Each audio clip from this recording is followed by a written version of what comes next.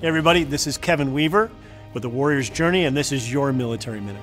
The Warrior's Journey from time to time has opportunity to partner with active duty chaplains, and one of those opportunities is involving the George H.W. Bush, a wonderful aircraft carrier that has been out on deployment these last few months, and they're having a homecoming in the next few weeks that we get to be a part of.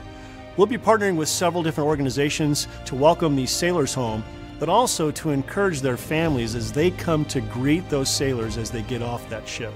We're really excited about this. What makes this so special is the unprecedented invitation to work with Navy chaplains to engage in this very special event with not only the sailors but the warrior families as well.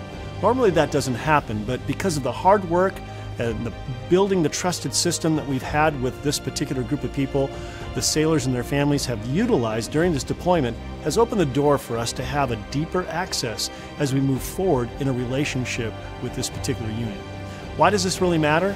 Because it translates to more effective engagement and ultimately changed lives with individuals that matter most, those who are serving our country and giving so much.